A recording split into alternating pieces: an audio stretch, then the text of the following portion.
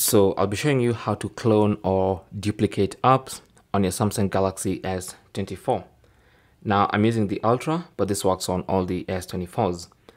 Now you can actually duplicate or clone messaging apps on your phone natively. And this means apps like WhatsApp, you can have two WhatsApp accounts running on the main app and the cloned app and you can have two accounts running concurrently on the phone. Same applies to most other messaging applications. So to do that, go into settings. Under settings, scroll down to advanced features, tap on that. And then under advanced features, scroll down to dual messenger and tap on that. And as you can see, the messaging apps are the ones listed here. The, the apps you can actually use to send and receive messages.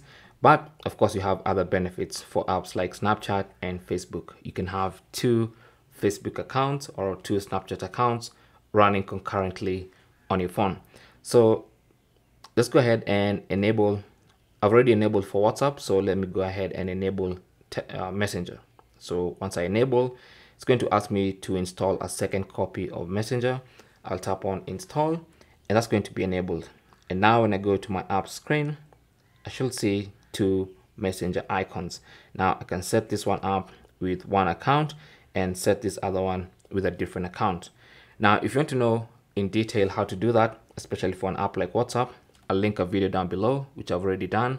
And you can just go ahead and sign in to the two accounts with two different, I mean, to the two apps with two different accounts.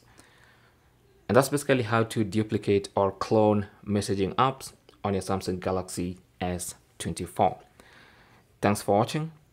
Comments and questions down below and good luck.